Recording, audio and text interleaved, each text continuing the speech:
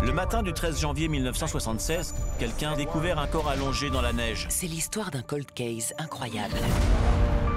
L'histoire d'une boîte oubliée dans les archives de la police. Une boîte au secret insoutenable. Il y avait des photos de filles qui étaient soit à moitié nues, soit complètement nues. Cette découverte n'a fait que renforcer nos craintes. Un suspect insaisissable. C'est comme si ses yeux nous aspiraient. Je m'en veux d'être montée dans cette voiture. Portrait du pire tueur en série de femmes que l'Amérique ait connu. Série documentaire en trois volets. The Box, le tueur en série invisible. À partir du jeudi 26 octobre à 21h sur Planète Plus Crime.